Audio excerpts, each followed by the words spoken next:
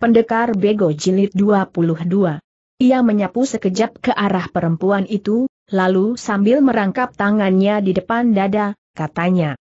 Si Cu, ada urusan apa kau memanggil Pinceng?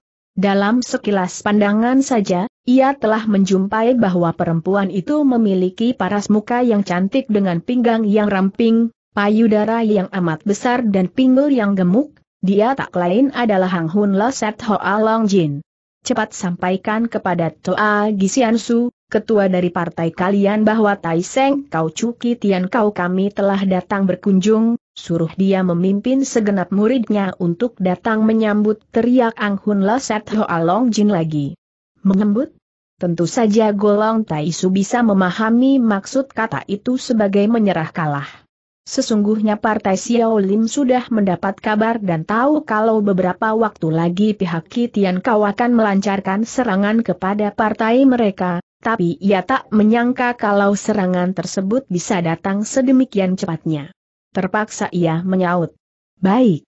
Dengan cepat ia lari masuk ke dalam ruangan dan membunyikan lonceng tanda bahaya.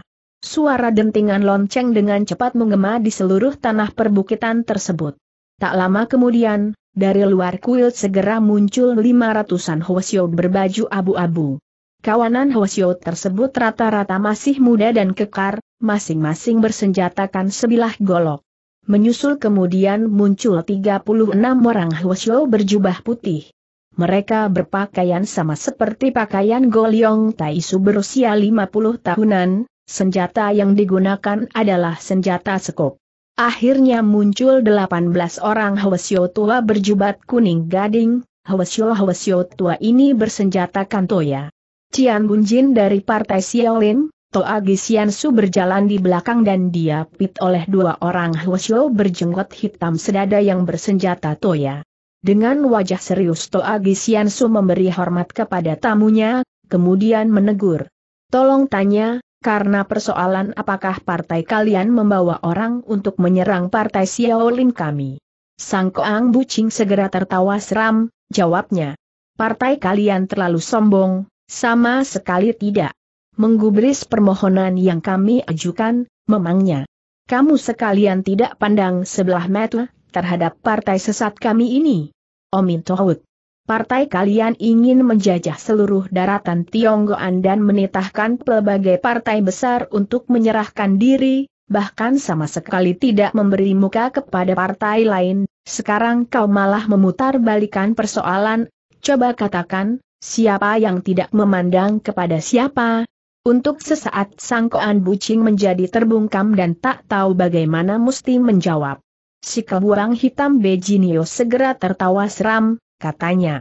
Toa Hwasyo, tajam amat selembar bibirmu itu, cuma, aku rasa kita tak usah ribut lagi aku hanya ingin bertanya kepadamu sekarang mau menyerah atau tidak? Sesudah mengetahui kalau musuhnya Bejinio, Toa Gisiansu segera mendengus dingin. HMM. Semenjak partai kami didirikan hingga sekarang, Lolap cuma tahu membela kebenaran untuk menaklukkan iblis, Tiada kamus dalam sejarah partai kami bahwa Xiao Lin Bei akan menyerah kalah dan bertekuk lutut kepada kaum iblis. Si kebuang hitam Bejinio segera tertawa dingin. Toa Gisi keledai gundul serunya, kau mestinya juga tahu, partai kami telah menyiapkan begini banyak jago liok lim untuk menumpas kalian, dengan kekuatan beberapa ratus orang dari partai kalian, Tidakkah kau merasa bahwa tindakanmu itu ibaratnya telur yang akan diadu dengan batu karang? HMM. Kalau kami berkeras kepala lagi, jangan salahkan kalau partai kalian akan kami ratakan dengan tanah. Pelan-pelan Toa Gisiansu menyapu sekejap kawanan iblis dari Kitian Kau yang berjumlah ribuan orang itu, dia tahu bahwa kekuatan partainya jauh ketinggalan dibandingkan kekuatan orang, jika tiada bantuan yang datang dari luar, niscaya partai Xiao Lim akan musnah sampai di situ saja. Tapi dengan cepat pendeta tua itu berpikir lagi. Andai kata menyerah kepada Kitian Kau, jelas Tindakanku ini akan membuat malunya nama Chow Su, apalagi sesudah menyerah, mereka pun akan menggunakan tenaga partai kami untuk menaklukkan dunia, Bukankah perbuatan semacam ini sama artinya dengan membantu kaum laknan membuat kejahatan di dunia? Berpikir sampai di situ, dengan keraskan hati segera katanya. Bila takdir menghendaki demikian partai Xiaolim kami akan pasrah kepada nasib. Mengapa kau tidak mempertimbangkan lagi keputusanmu itu bujuk Bejinio? Aku sudah cukup mempertimbangkannya, jadi tak usah dipikirkan lebih jauh. B. Jinimar masih ingin membujuk lagi, tapi Hukau Cusang Koan Bucing yang berada di sampingnya segera menukas. Yang mau menurut kita pakai, yang membandel kita sikat, kalau toh Toagi Hwasyo belum puas hatinya sebelum melihat peti mati, buat apa kita mesti sungkan-sungkan lagi? Bukan begitu Tai Sengkaucu? B. Jinimar menghela napas panjang. Aaai, Tampaknya kita memang terpaksa harus memberi pelajaran dengan darah. Baru selesai dia berkata, siluman perut besar Go Ying Chiu dari Jit Sia Chia Si Yau segera menampilkan diri seraya berkata, hamba bersedia untuk bertarung dalam babak pertama.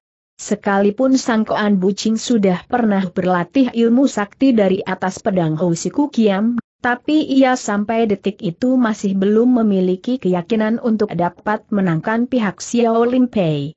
Maka ketika dilihatnya siluman perut besar Go Ying Chiao bersedia untuk maju ke depan, ia segera mengambil keputusan untuk melihat kekuatan lawan dari pertarungan babak pertama, maka dengan cepat dia pun mengangguk tanda setuju. Siluman perut besar Go Ying Chiao segera meloloskan sepasang senjata roda Jiguat Siang Lunnya dan maju ke depan bagaikan jalannya seekor itik katanya. Para Hwasyo Gundul, dengarkan baik-baik, hari ini aku Go Ying Chiao akan mencoba kelihayan dari ilmu silat Xiao Pei. Siapa yang ingin tampilkan diri untuk menerima kematian? Seorang Hwasyo berjubah putih segera menampilkan diri, orang ini bernama Go Sim Hwasyo.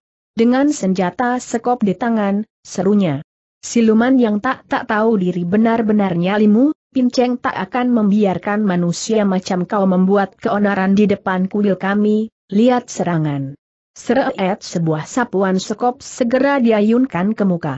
Siluman perut besar Go Ying Chiao mengayunkan pula senjata roda jit guatlunnya untuk menangkis sambil menjojoh, jurus serangan yang dipakai adalah Ku Su Boan Keng, pohon kering akar melingkar.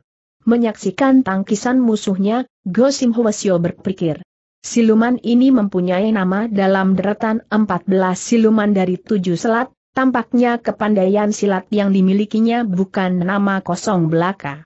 Dengan cepat dia gunakan jurus lekpit boasan, membacok rontok bukit boasan, poim kiam jit, menyingkap awan melihat matahari, dan Leiliong Kim datang dari asal-usulnya, tiga jurus dahsyat untuk melancarkan serangan. Jangan dilihat jurus-jurus serangan yang dipergunakan itu amat biasa dan tiada sesuatu yang aneh tapi dalam permainan Go Sim Hwasyo ternyata kehebatannya luar biasa sekali. Bagus teriak siluman perut gendut.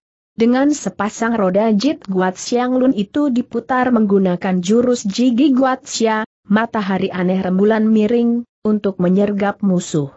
Kendati pun perlawanan yang dilakukan cukup tangguh, namun rupanya ia masih bukan tandingan Gao Sim Hwasyo, 20 gebrakan kemudian ia sudah menunjukkan tanda-tanda akan kalah. Tapi siluman berperut besar ini memang cukup licik, ketika dilihatnya Go Sim Hwasyo cukup tangguh, dengan cepat ia memencet tombol rahasia pada senjata roda Jit Guat Siang Lunnya untuk menyemprotkan air racun yang sudah dipersiapkan sebelumnya itu. Gosim Hwasyo membentak keras, senjata sekopnya ditutul ke atas tanah, kemudian menggunakan tenaga pantulan tersebut badannya melambung ke udara dan persis melepaskan diri dari semprotan air beracun itu. Melihat semprotan air beracunnya tidak mendatangkan hasil, siluman perut besar Go Ying Chiao menjadi gugup bercampur panik dengan cepat dia membalikan badannya siap melarikan diri. Go Sim Hwasyo membenci atas kekejiannya, Melihat musuhnya mau kabur, lengannya segera digetarkan keras, senjata sekopnya dengan menciptakan selapis bayangan hitam langsung menyapu ke udara. Jeritan ngeri yang memilukan hati segera berkumandang memecahkan keheningan, batok kepala siluman berperut besar itu tahu-tahu sudah terpapas separuh hingga darah segar bermunkratan ke mana-mana, seketika itu juga ia roboh binasa. Dengan matinya siluman berperut besar Go Ying Chiao serentak sisa siluman yang bergabung dalam Jitsia Cap Si Yau maju ke muka siap membalaskan dendam bagi kematian saudaranya. Tapi Hukau Chu Sangkoan Bucing segera membentak keras. Memangnya kalian khawatir dendam Go Hiang Chu tak terbalaskan? Hayo cepat mundur semua. Kawanan iblis dari tujuh selat tak berani membangkang, mereka segera menarik diri dan mundur ke belakang. Sangkoan Bucing segera menitahkan Sesiu Jinmo untuk turun dalam pertarungan babak kedua. Pihak Xiao Limpei segera mengutus Tai Chu Siang Su dari ruang Lohem Tong untuk keluar menghadapi musuh. Tenaga dalam yang dimiliki Tai Susiansu sesungguhnya terhitung lumayan, cuma sayang dia masih kalah bila dibandingkan dengan ilmu Kiu Tian Tusoh Kang milik Sesiu Jinmu. Padahal dari sekian banyak tiang lo yang berada dalam ruang lo hantong, ilmu silat Tai Susiansu terhitung paling lihai, bila dia saja tak sanggup mempertahankan diri sudah barang tentu terpaksa Ciang Bunjin mereka Tai Gisiansu harus turun tangan sendiri untuk menghadapi musuhnya itu. Dengan suara lantang Sesiu Jin Mo Kwik Ching berkata, Hwasyo gede, sesungguhnya sudah lama lohu berniat untuk mengunjungi kuil Xiao Lim Si serta mencoba kelihayan ilmu silat partai kalian, siapa tahu para tiang lo dari Lohontong yang begitu tersohor namanya dalam dunia persilatan pun tak lebih cuma begitu-begitu saja, kejadian ini sungguh membuat aku orang Shikwik merasa kecewa sekali. Semenjak Tai Gisiansu menduduki jabatan sebagai ketua partai Xiao Lim, dia lebih menganjurkan kepada murid-muridnya untuk belajar ilmu agama Buddha ketimbang murid-muridnya giat berlatih silat, tidak heran kalau nama besar Partai Xiaolin pada 20 tahun belakangan ini tidak setenar dulu. Maka setelah mendengar perkataan dari Seishu Jinmo tersebut, dia baru sadar bahwa agama Buddha meski sangat penting artinya, tapi ilmu silat pun tak boleh dikesampingkan. Oh Minto Hutia lantas merangkap tangannya di depan dada sambil memuji keagungan Buddha, keliru kalau Sicu berkata demikian. Bayangkan saja sejarah partai kami sedari dulu, soal ilmu silat selalu merupakan topik pembicaraan orang banyak, andai kata Lolap tidak selalu menganjurkan kepada anak muridku agar lebih memperdalam agama, hari ini, tak nanti kami akan biarkan layan semua berbuat sewenang-wenang di tempat ini. Seisiu Jin Mo segera mengipatkan rambutnya yang merah, kemudian terkekeh dengan seramnya. Heeh, heeh, heeh, keledai tua, kematianmu sudah berada di depan mata, berani benar kau berbicara secara sembarangan? Pedangnya segera digetarkan menciptakan selapis bunga pedang yang menyelimuti seluruh angkasa, kemudian dengan suatu gerakan kilat langsung membacok ke tubuh Tai Gisiansu, ketua dari partai Xiao Lim tersebut. Di tengah cahaya pedang, sinar berkilauan tiba-tiba memancar ke empat penjuru dan mengurung sekujur tubuh lawan. Jurus serangan ini sesungguhnya jauh lebih keji dan mematikan bila dibandingkan dengan jurus serangan yang digunakan untuk menghadapi Tai Chu Siansu tadi. Tai Gisiansu mendengus dingin. HMM. Siancu jangan keburu bangga dulu. Tongkat kemala Liok Giok Chiang yang berada di tangannya segera diputar sedemikian rupa menciptakan selapis bayangan cahaya kehijau-hijauan. Bukan saja serangan tersebut dengan cepat membuyarkan kekuatan Kiu Tian Tusoh Keng yang menyurut badan, malah terkandung pula kekuatan dahsyat yang balik menyerang ke tubuh lawan. Tai Gisian Su memang tak boleh dianggap enteng, Betul selama banyak tahun belakangan ini dia lebih menitik beratkan perhatiannya untuk mendalami agama, akan tetapi ilmu silatnya sama sekali tidak terbengkalai. Ratusan gebrakan kemudian, Sei Xiu Jin memulai keteter hebat dan lambat laun makin tak kuasa menahan diri. Hu Kau Chu dari Kitian Kau, sangkoan bucing yang menyaksikan gelagat tersebut, segera menitahkan T.E. Lengkun untuk menggantikan rekannya yang terdesak itu. T.E. Lengkun segera menggetarkan ruyung seratus tulang tengkoraknya untuk menggantikan kedudukan Sesiu Jinmo, seluruh kemampuannya untuk memainkan Yeu Leng Biao Chiu Pian Hoat yang diperolehnya dari kitab Kiu Im Chiu Keng segera dipancarkan sepenuh tenaga. Setiap ancaman ruyung yang dilancarkan hampir semuanya dilakukan dengan gerak enteng seakan-akan kakek bertampang jelek ini sama sekali tidak memiliki tenaga dalam. Padahal setiap serangannya itu mengandung penghancur yang beribu-ribu kati beratnya, salah-salah bisa jadi akan merenggut nyawanya. Ilmu Guan Yok Sin Kang yang dimiliki Tai Gisian Su sebenarnya termasuk suatu ilmu sakti dari kaum Buddha, Sayang sekali Kyo Im Hiat Set yang dimiliki Te Leng Kun telah mencapai puncak kesempurnaan, suatu ketika karena kurang berhati-hati, lengan kiri Tai Gisian Su segera tersambar senjata lawan sehingga terluka. Melihat kejadian itu, Hu Kau Chu dari perkumpulan Kitian Kau, Sangkoan Bucing segera tertawa terbahak-bahak. Ha-ah, ha-ah, ha-ah. Tai Gisian Su sekarang tentunya kau sudah tahu akan kelihayan bukan? Lebih baik sedikitlah tahu diri dan berani menghadapi kenyataan, sekarang aku masih memberi kesempatan kepadamu untuk mempertimbangkan, akan menyerah atau bertempur terus. Suatu kebulatan tekad yang membaja segera tercermin di atas wajah Tai Gisian Su, serunya dengan lantang. Kepala boleh putus kepribadian tak boleh dijual, Partai Xiao Limbe tidak akan menyerah kepada kaum siluman yang bengis. T. Pun segera tertawa terkekeh-kekeh. Heeh, heeh, heeh, memangnya kau bisa mengambil keputusan sendiri. Ruyung perkut pian yang berada di tangannya segera disapu ke bawah lalu menyerang semakin gencar ibaratnya hujan badai.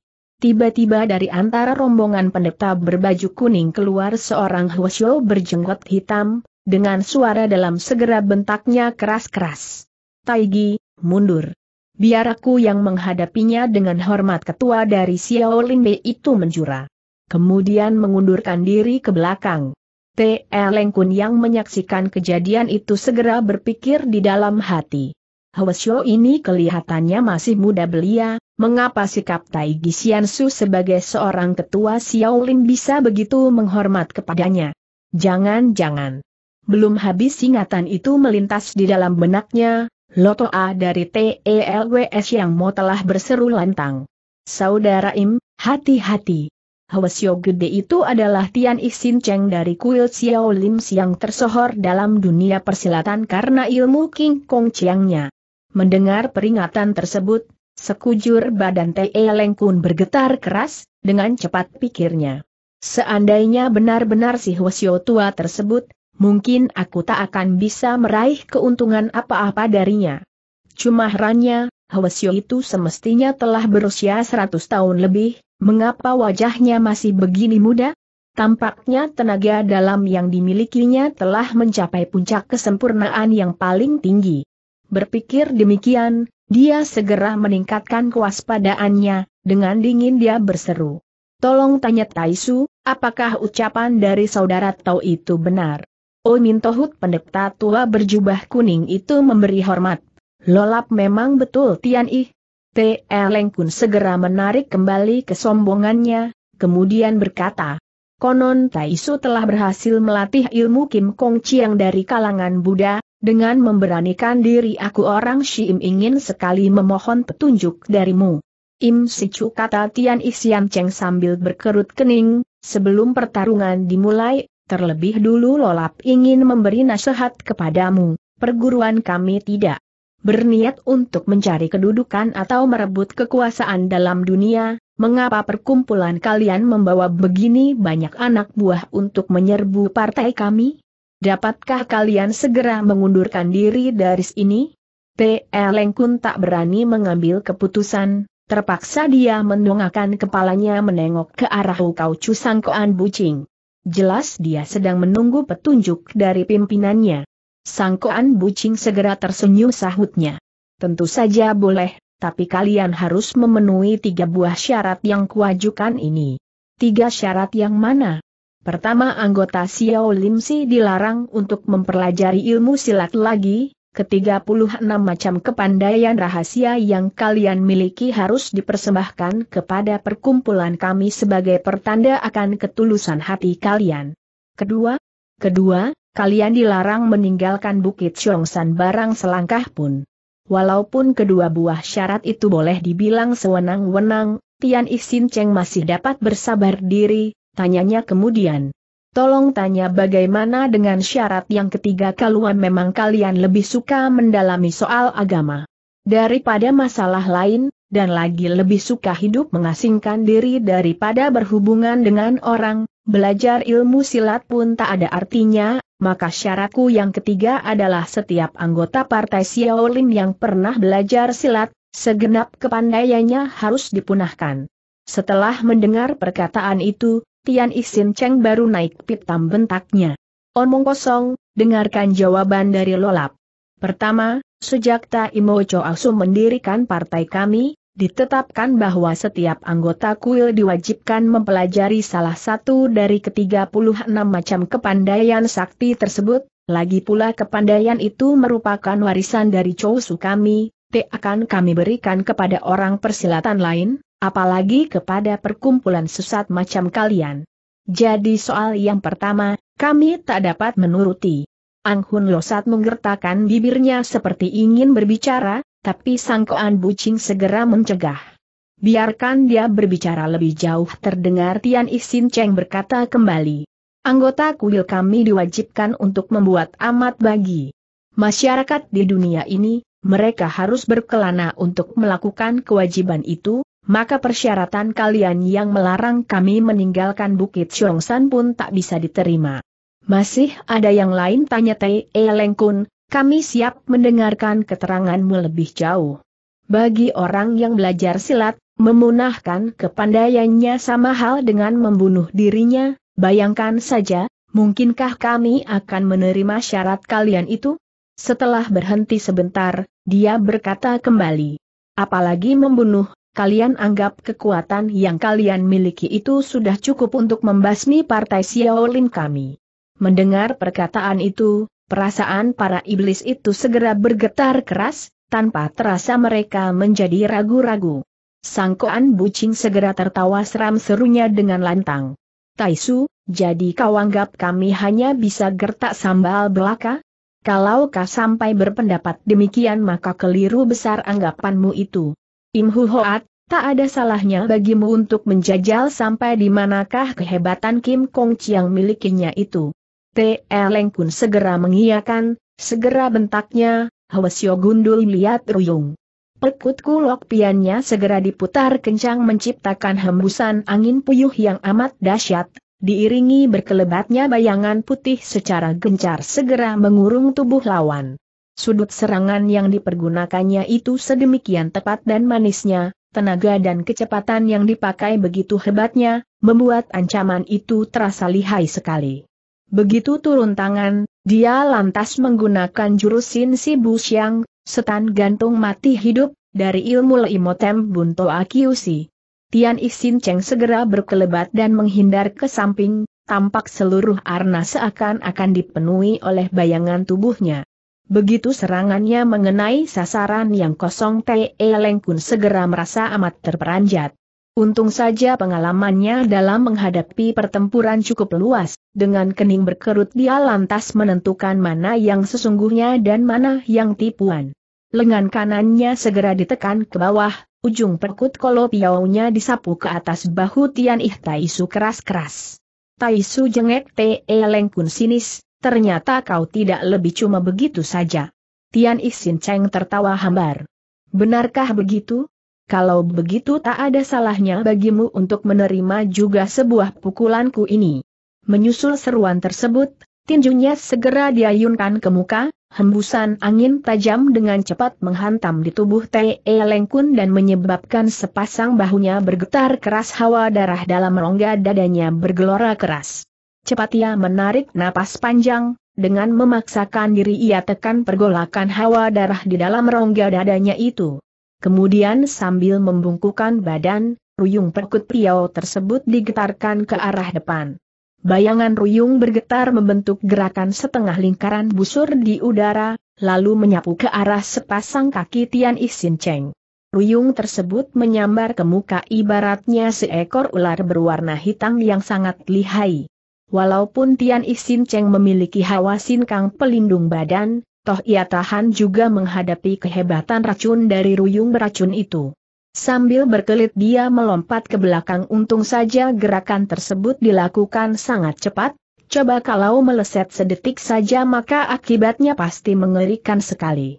Begitulah, meskipun ia berhasil menghindarkan diri, amarah yang berkobar dalam hatinya sukar dibendung, pikirnya kemudian. Iblis-iblis keji ini benar-benar tidak mengenal rasa peri kemanusiaan. Tidak menunggu serangan kedua dari T.E. Lengkun dilancarkan, sebuah pukulan dahsyat telah dilontarkan di depan. Segulung angin pukulan yang maha dahsyat dengan cepat menyapu ke depan. T.E. Lengkun sudah menderita rugi satu kali, tentu saja ia tak berani menyambut serangan tersebut dengan kekerasan, sambil memutar badan, ruyung tulang putihnya dengan cepat disapu ke tubuh Hwasyo tua itu. Menghindari sambil menyerang satu gerakan dilakukan hampir bersamaan, ancaman ini benar-benar tak boleh dianggap enteng. Jangan dilihat tampangnya amat jelek, ternyata ilmu silat yang dimilikinya benar-benar luar biasa dahsyatnya. Sekarang Tian Ihwasyo baru sadar bahwa selisih kepandaian silatnya dengan T.E. Lengkun kecil sekali, Hal ini membuatnya semakin tak berani gegabah. Maka sambil membentak keras, jubah pandetannya yang lebar dikebaskan ke atas, lalu sambil berjumpalitan di udara, dengan kepala di bawah kaki di atas dia melancarkan sebuah tonjokan dari tengah udara. Segulung angin pukulan yang amat kencang, dengan cepat menghantam di atas dada T.E. Lengkun. Paras muka T.E. Lengkun berubah hebat, dia menjerit kaget dan segera menjatuhkan diri ke belakang untuk memunahkan sebagian dari tenaga serangan tersebut. Sayang sekali, meskipun gerak menghindarnya dilakukan cukup cepat, toh badannya terkena pukulan juga. Kontan saja tubuhnya terlempar sejauh beberapa kaki dari posisinya semula. Dengan cepat T.E. Lengkun melompat bangun dari atas tanah, mukanya pucat pias seperti mayat, Jelas luka yang dideritanya tidak enteng. Omin Tohut, si Cu terlalu mengalah kata Tian Isin Cheng kemudian. Ternyata ia segera mengundurkan diri ke samping Chiang Bunjinnya dan tidak melanjutkan serangan itu lebih lanjut.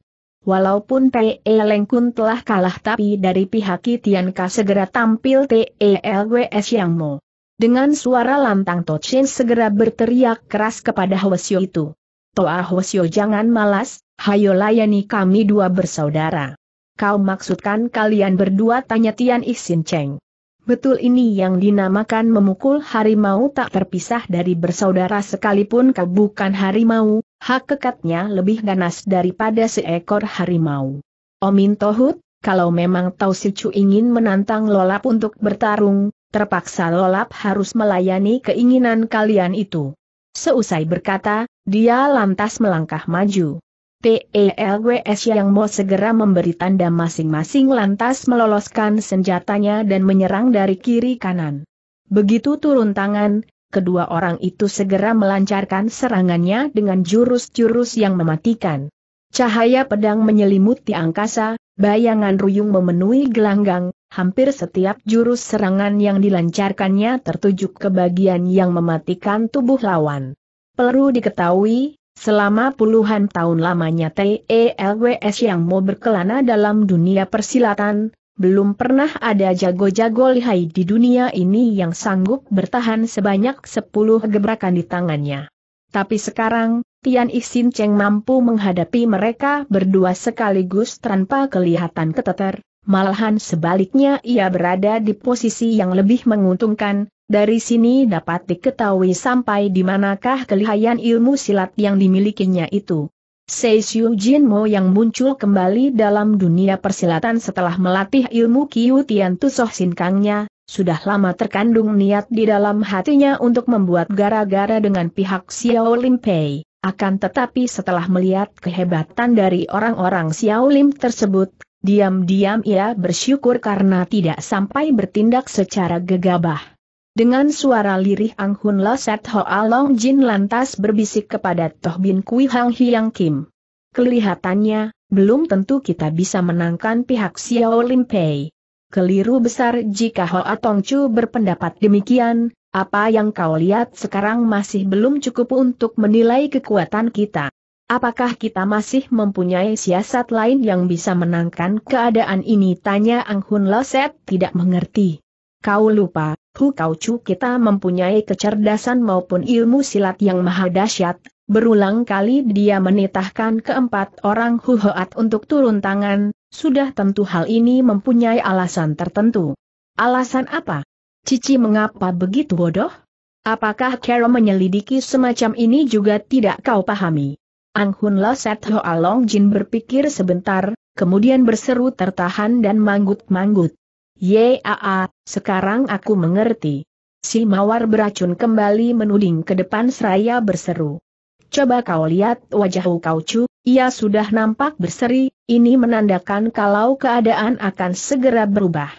Baru saja ia menyelesaikan kata-katanya, mendadak terdengar Tian Yan Xian Cheng membentak keras. Siapa yang telah menyergap lolap? Sepasang telapak tangannya segera didorong ke depan, dua pukulan yang maha dahsyat dengan cepat mementalkan tubuh Tochin dan Tochiu hingga jauh sekali. Akan tetapi dia sendiri pun jatuh terduduk di atas tanah. Dengan wajah terkejut Tian Isin Cheng buru-buru memburu ke depan sambil serunya. Kau sudah terkena sergapan siapa? Mungkin terkena jarum beracun Hang Witok dari si kebuang hitam Bejinio. Buru-buru Tian Isin Cheng mengeluarkan tiga biji toa wan wan dan dimasukkan ke mulut suhengnya, kemudian serunya. Suheng, mari kau kubopong masuk ke dalam kuil untuk mengobati lukamu itu. Jangan, dewasa ini kuil Xiao Lim Si sedang terancam bahaya besar, bila kita pergi meninggalkan tempat ini, besar kemungkinan hal tersebut akan memengaruhi semangat mereka. Lantas bagaimana baiknya seru Tian Isian Cheng gugup. Tampaknya Padri Lihai ini telah dibikin gelagapan oleh situasi yang sedang dihadapinya itu. Keadaan telah berkembang menjadi begini rasanya tiada Caroline yang lebih baik lagi cuma kita tak boleh menyerah, sekalipun harus mati di medan pertarungan, kita juga harus mempertahankan diri, mengapa tidak suruh mereka siapkan barisan lohontin? Belum lagi Tian Isin Cheng mengemukakan permintaan tersebut, Taigi Xiansu telah menitahkan 500 orang pendeta muda dari angkatan ketiga untuk membentuk sebuah barisan lohontin. Pada saat itulah terdengar sangkoan bucing sedang berseru dengan lantang. Taigi Taisu, Susyokmu itu sudah terkena jarum beracun Hang Witok Chiam perkumpulan kami tak ada orang yang bisa mengobati luka tersebut, jika kau bersedia untuk menyerah, aku pun bersedia untuk menghadiahkan obat penawar kepadamu. Mendengar ucapan tersebut, kontan saja Tai Gisiansu menolak permintaan orang. Melihat itu dengan bengis sangkoan bucing melotot, kemudian setelah tertawa seram serunya. Kalau Toh Hwasyo Hwasyo ini tak tahu diri jangan salahkan kalau kami akan bertindak keji. Begitu selesai berkata, dia lantas menurunkan perintah untuk melancarkan serbuan. Suara bentakan yang gegap gempita segera menggema dari empat arah delapan penjuru. Walaupun jumlah anggota Xiao Lim Si tidak sebanyak jumlah anggota Kitian Kau, akan tetapi berhubung mereka telah membentuk barisan Tin Huan Lohan Toatin, maka untuk sesaat kawanan iblis tersebut tak mampu berbuat banyak. Si kebuang hitam Bejinio yang menyaksikan keadaan tersebut, segera mengusulkan. Bucing, kalau pertarungan dibiarkan berlangsung begini terus, bisa jadi akan banyak korban yang berjatuhan di kedua belah pihak, sekalipun akhirnya bisa meraih kemenangan, kerugian yang kita derita pun pasti besar sekali. Lantas bagaimana pendapat Taiseng Kaucu? Di dalam melakukan operasi kali ini, aku telah membawa setabung jarum beracun Hang Witok Ciam lebih banyak, inilah kesempatan bagiku untuk menggunakannya. Selain daripada itu, putik beracun dari si mawar beracun Hang Hiang Kim Tong Chu juga bisa dimanfaatkan kehebatannya, hari ini kita harus membuat beras hwasyo-hwasyo baru tersebut. Berkata sampai di situ dia lantas memberi tanda, lalu bersama si mawar beracun segera menyerbu ke dalam barisan lohan toatin tersebut. Tanpa mengeluarkan sedikit suara pun kedua orang itu segera mengayunkan tangannya berulang kali, yang seorang melepaskan putik-putik beracun sedang yang lain menebarkan jarum Hang Witok Ciam yang lembut. Menghadapi hujan senjata rahasia yang begitu hebat, meskipun sebagian besar di antaranya berhasil dipukul rontok oleh para Hwasyo dari Xiao Lisi itu, tapi tak sedikit pula yang berhasil menyusup masuk ke dalam barisan Lohan Toatin. Kawanan Hwasyo itu hanya merasakan tubuhnya kesemutan, tahu-tahu golok terlepas di tangan dan tubuh mereka roboh terkapar di atas tanah. Tak selang beberapa saat kemudian, sudah berpuluh-puluh orang anggota Partai Xiao Lim yang menemui ajalnya. Perubahan yang terjadi secara tiba-tiba ini kontan saja membuat barisan Lohan Toatin tersebut menjadi kacau balau tak karuhan. Hu Kau Chu dari Kitian Kau, sangkoan bucing yang melihat ada kesempatan baik di depan mata, tentu saja tidak menyia-nyiakannya dengan begitu saja, dia segera menurunkan perintah untuk melakukan pembunuhan secara besar-besaran. Anak buahnya yang sebagian besar adalah pembunuh-pembunuh berdarah dingin tentu saja kegiranan mendapat perintah tersebut apalagi mereka beranggapan membunuh kepala gundul adalah sasaran yang tepat, tak heran kalau tampak kepala manusia bergelindingan di atas tanah. Sesaat kemudian, darah segar telah bercucuran di mana-mana, seluruh permukaan tanah telah dipenuhi oleh mayat yang bergelimpangan di sana-sini. Tentu saja di pihak Kitianka sendiri pun tak sedikit yang menjadi korban, apalagi Tai Su ketua dari Xiao Limbe telah bertekad untuk melakukan pertarungan sengit untuk mempertahankan diri, pertarungan sengit yang paling dahsyat segera berkobar di situ. Pertempuran ini benar-benar luar biasa sekali jubah Toa Su yang berwarna putih kini sudah berubah menjadi merah karena darah, Sedangkan Tian Ixin Cheng juga melakukan pembunuhan secara besar-besaran sekalipun mulutnya berkemak-kemik terus-menerus membaca doa. Ketika ia menerima tantangan dari T.E. Lengkun tadi, sebenarnya terbentik setitik harapan dalam benak Hwasyo ini untuk menghindari terjadinya pertumpahan darah. Tapi kenyataannya menghendaki lain, terpaksa dengan sebilah golok dia membabat semua orang yang berusaha menerjang ke arahnya itu, Tentu saja tindakan ini dilakukan dengan perasaan terpaksa. Rupanya Hwasyo itu sudah sadar, bila ia sampai bersikap bajik dan penuh belas kasihan, bukan saja berakibat kematian buat dirinya sendiri, Tian Yan Sin Cheng yakni kakak seperguruan juga tak akan lolos dari kematian. Tian Yan Sin Cheng sendiri yang duduk bersila di tanah merasakan kesedihan yang luar biasa ketika melihat seorang demi seorang dari anak murid roboh binasa. Yang paling menyesal sudah barang tentu Tai Gisian Su sendiri, ia menyesal mengapa di masa lalu dia melarang anak muridnya memperdalam ilmu silat sebaliknya lebih menekuni soal agama, sekarang dia baru sadar bahwa tindakan tersebut adalah suatu kesalahan yang besar. Ketika dilihatnya partai Xiao Lim sudah diambang pintu kehancuran, sedangkan dirinya tak mampu berbuat banyak, hatinya terasa pedih seperti diiris-iris dengan pisau. Suatu jeritan ngeri kembali berkumandang memecahkan keheningan, ternyata Tai Kak Su dari ruang hukuman telah mati terbunuh di tangan Sesiu Jinmu. Menyusul kemudian Lak Pei Chu dari ruang baka terpapas sebuah lengannya. Kini tinggal Tian Ixin Cheng serta beberapa orang Tiang Lo saja yang masih bertarung sengit.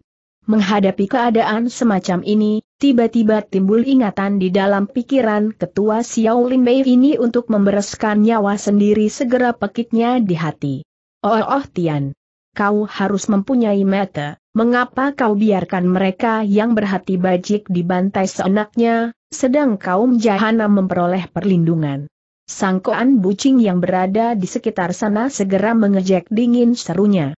Toa Hwasyo, riwayatmu sudah hampir habis, sejarah Xiao Limbe akan berakhir sampai di sini saja bersiap-siaplah untuk berpulang ke langit barat.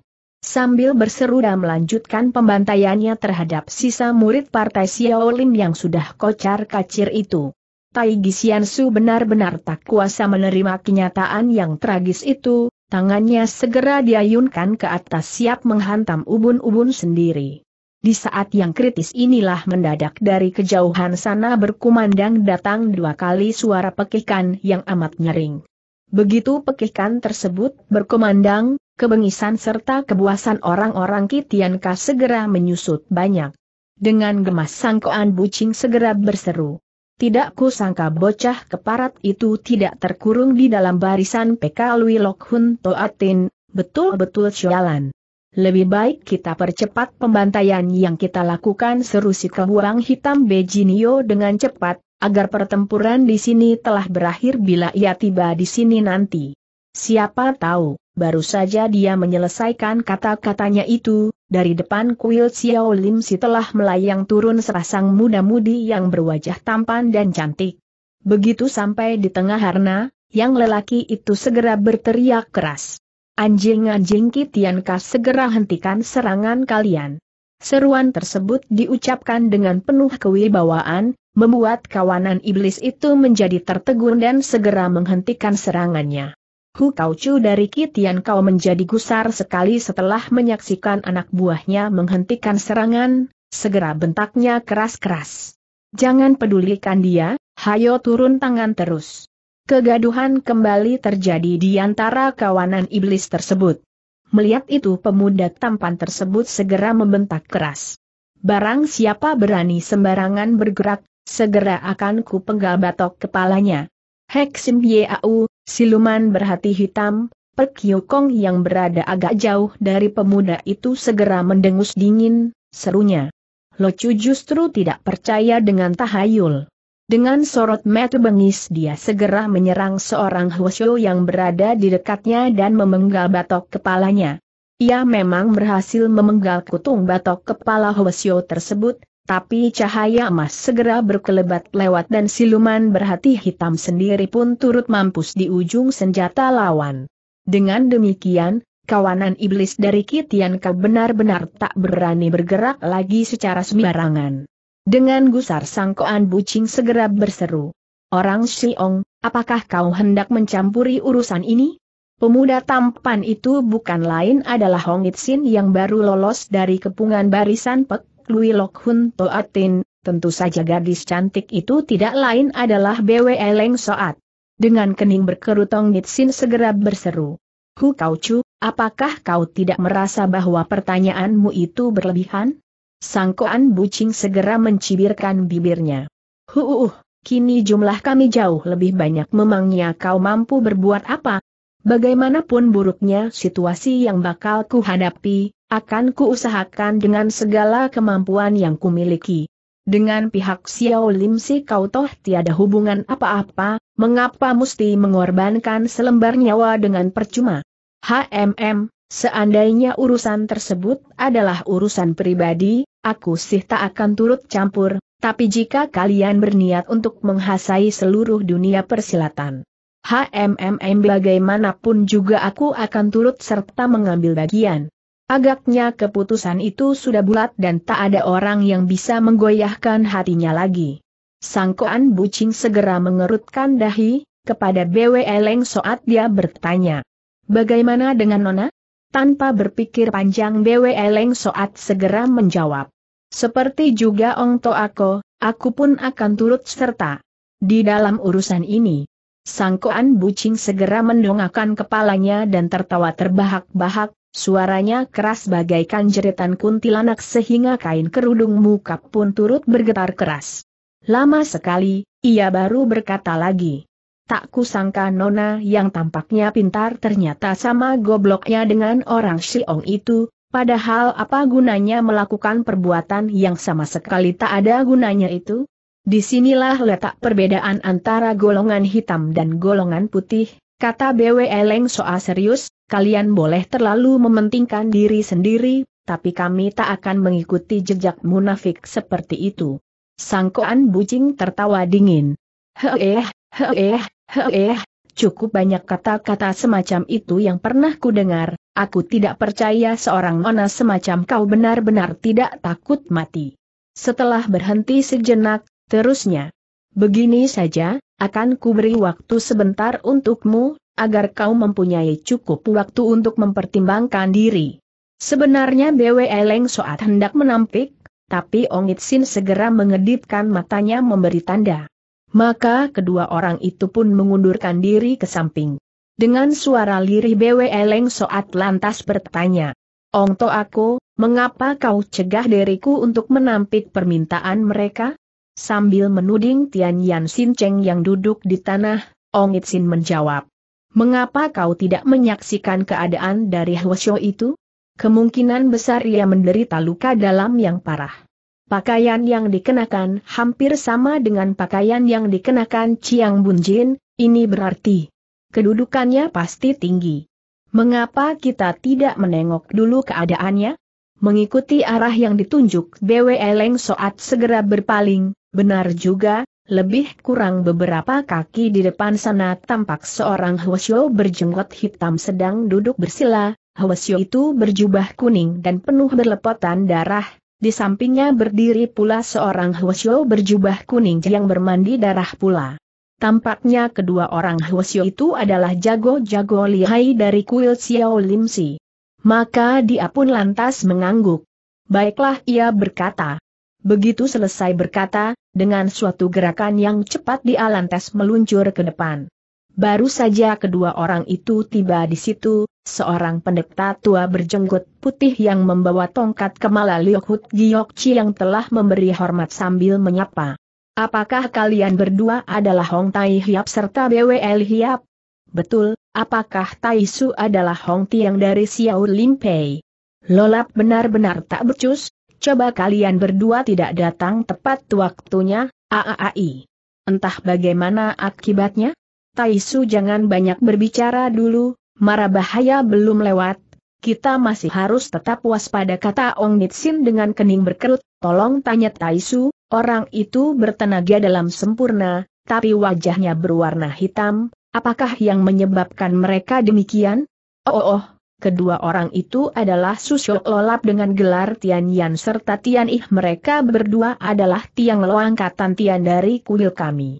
Oh, oh rupanya mereka adalah Tiong Gaji Seng, dua malaikat dari daratan tengah, entah mereka sudah terkena racun apa seru Bwe Leng Soat kemudian.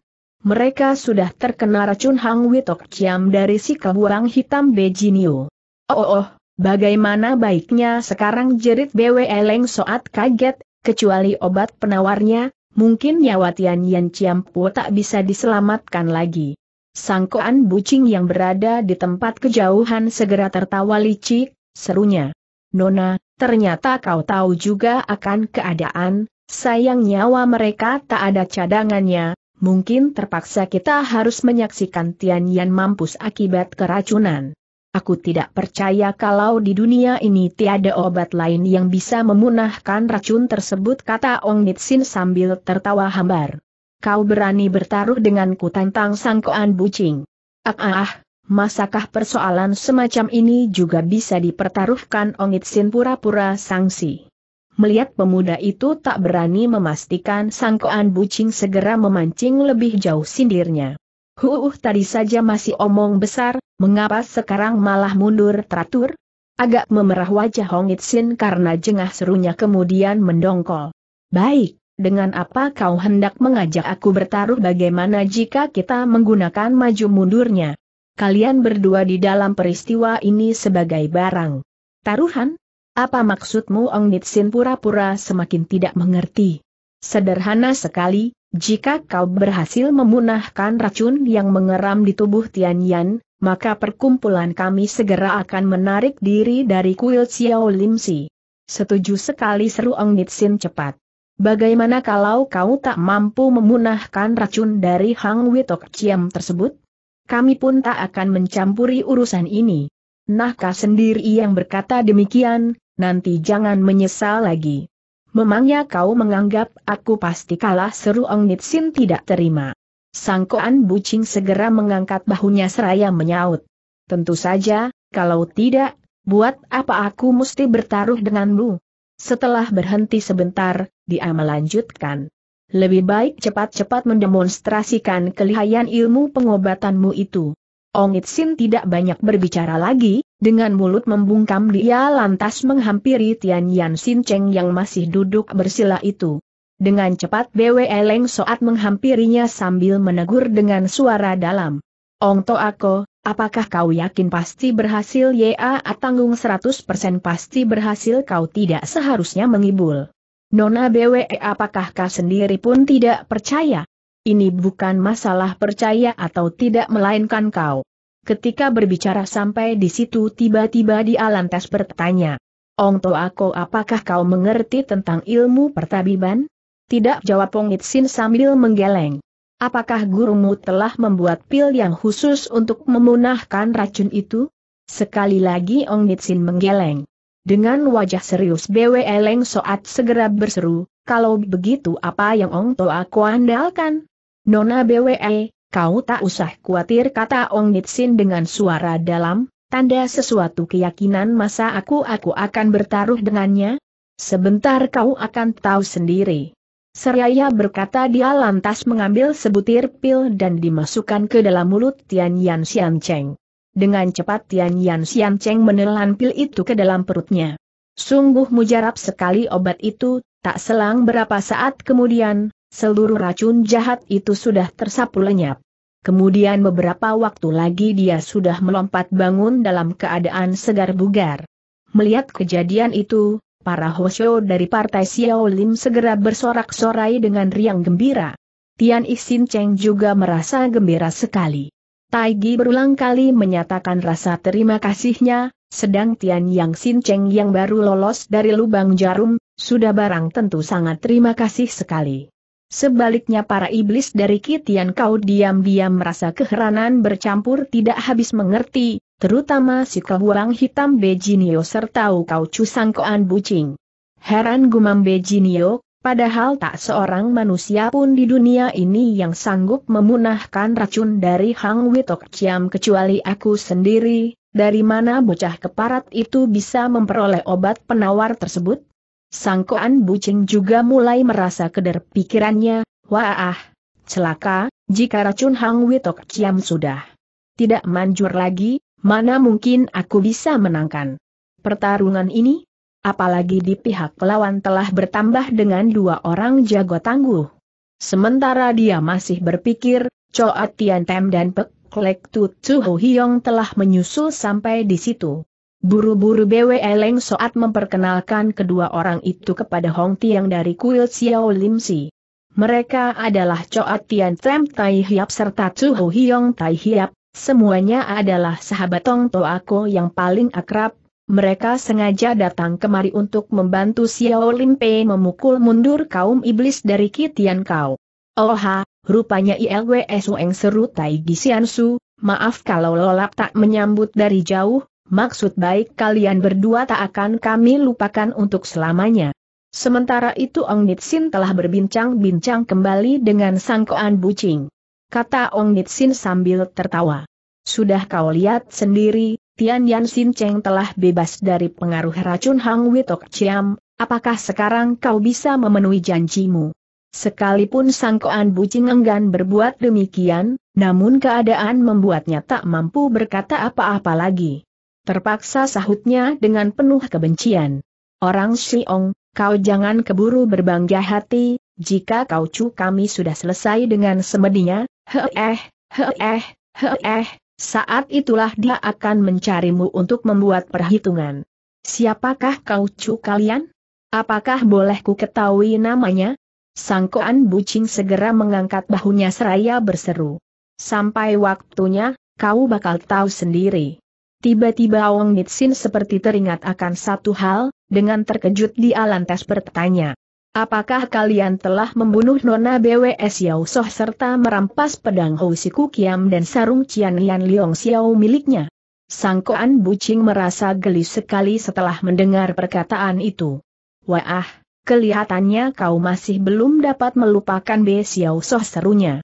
Ong Itsin tidak menyangkal katanya lagi.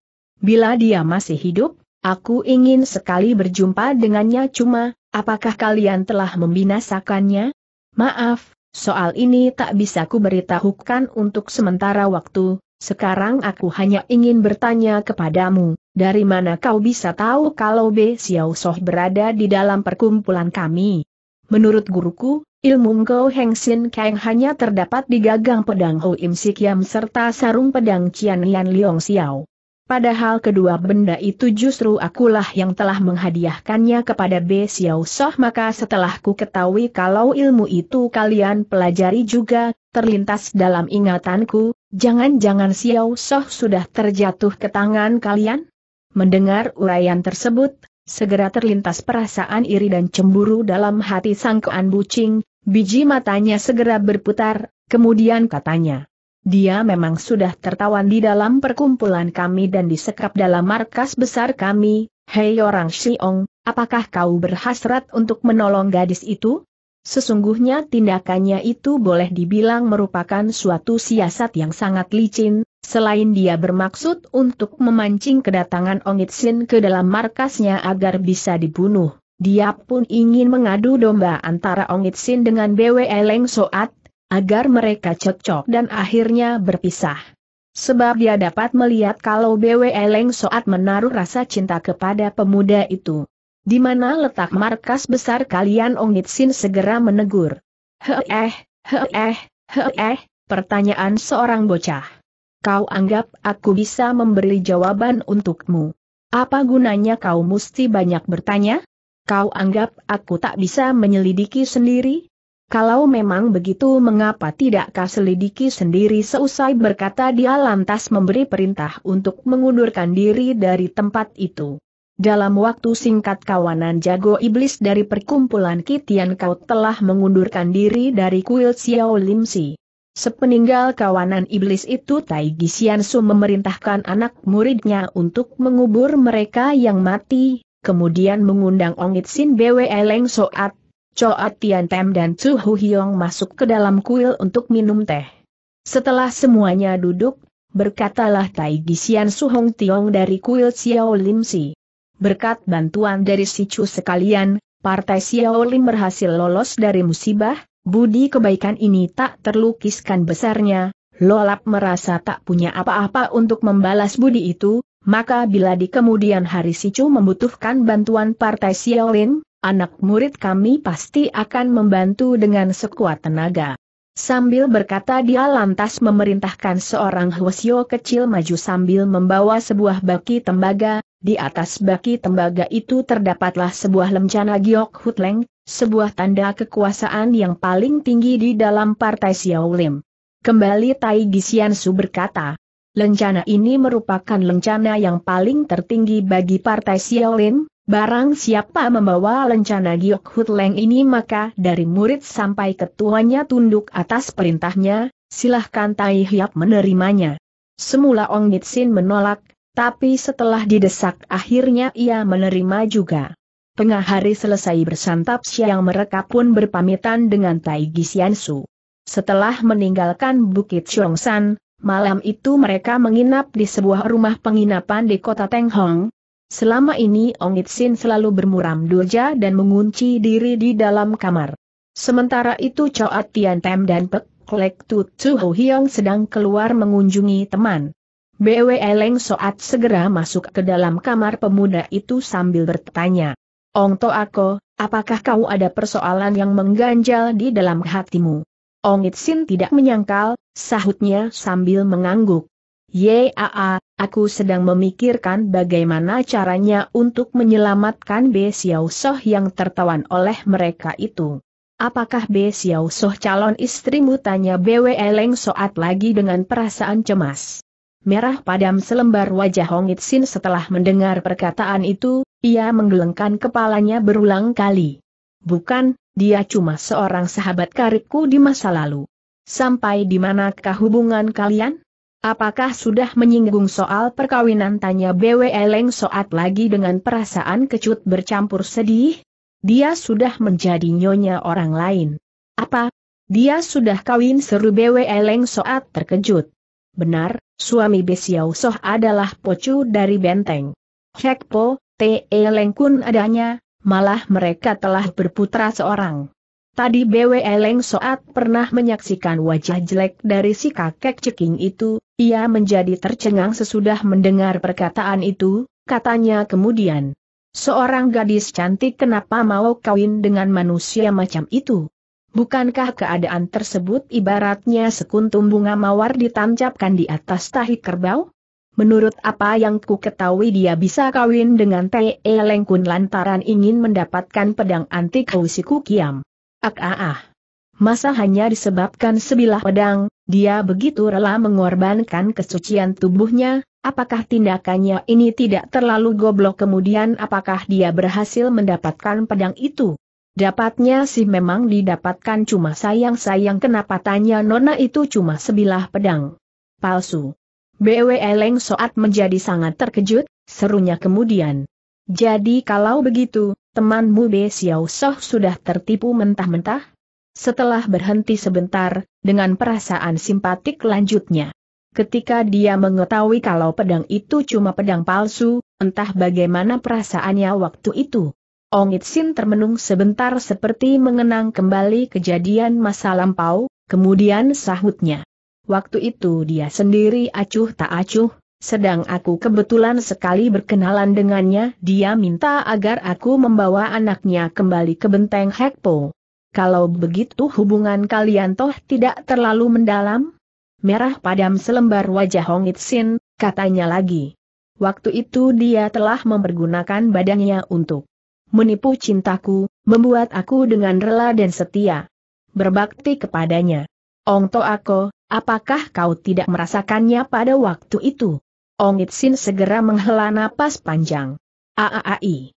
Pada waktu itu, tak seorang manusia pun di dunia ini yang sudi memandang diriku mereka menganggap aku sebagai manusia yang paling gobok di dunia ini, mereka menjadikan aku sebagai bahan tertawaan, bayangkan saja Nona BWE, Ketika secara tiba-tiba ada seorang gadis cantik bak bidadari dari kahyangan yang mencintai aku merayuku dan memperhatikan diriku, salahkan jika aku pun membalas cinta kasihnya itu dengan bersungguh hati. Bukankah kau pernah berkata bahwa ayahmu Kuhan Gwe Atai Hiap Kim Tubu Tek Ong Teng Tian telah tewas di tangan si keluang hitam Bejinio? Kemungkinan besar. Be Xiao Soh ada hubungannya dengan perempuan jalang itu. Yaa, benar. Mereka adalah ibu dan anak. Paras muka BW Eleng Soat segera berubah menjadi amat serius, katanya kemudian. Ong To Ako, dendam kesumat yang lebih dalam dari samudra itu hendak kau tuntut balas atau tidak? Menyinggung kembali soal dendam kesumat ayahnya, Ong Nitsin merasakan darahnya kembali mendidih, dengan mata melotot besar sahutnya dengan penuh perasaan dendam. Dendam kesumat tentu saja harus dibalas lantas apa rencanamu selanjutnya. Ini tergantung pada tingkah laku ibunya. Seandainya ibunya telah bertobat dan kembali ke jalan yang benar, maka aku pun akan mengampuni selembar jiwanya seandainya Besiau Soh bukan berpura-pura. Mencintaimu, tapi cintanya tulus dan murni, bagaimana caramu untuk menyelesaikan persoalan ini? Akan kukawini dirinya.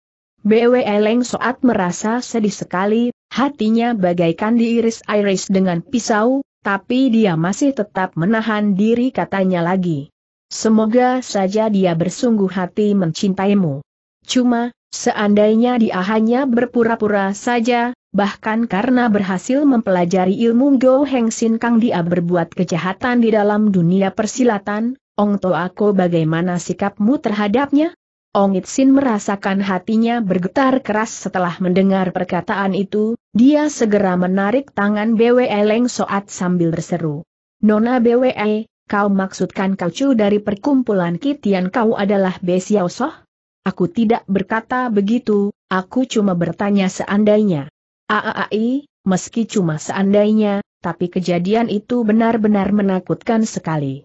Bukankah kau pernah berkata bahwa Hu Kiam dan Cian Lian Liong Xiao telah kau hadiahkan kepada Be Xiao Soh? Sedangkan sampai sekarang orang persilatan belum tahu siapa gerangan kau cu dari KHI Tian kau tersebut, tapi kalau dilihat nama perkumpulan itu, tampaknya kau cu mereka adalah seorang perempuan. Tapi kita toh tak bisa menuduhnya? Tentu saja, kau masih ingat racun apa yang diderita Tian Yan Sin Cheng dari Xiao Lim Pei. Bukankah racun itu adalah Hang Wito Cilam? Dari sini bisa kita ketahui kalau mereka ibu dan anak sudah pasti berada dalam perkumpulan itu, seandainya Xiao Soh ditawan, apakah Beji Nima bersedia membuktikan diri kepada perkumpulan itu? Lagi pula, ketika kau menyinggung soal Bei Xiao Soh, suara Hu Kau Chu itu segera berubah, apakah tak bisa mendengarkan? Bagaikan baru sadar dari impian, Ong Itsin segera berseru. Kalau begitu, aku pasti kenal juga dengan Hou Kau Chu tersebut.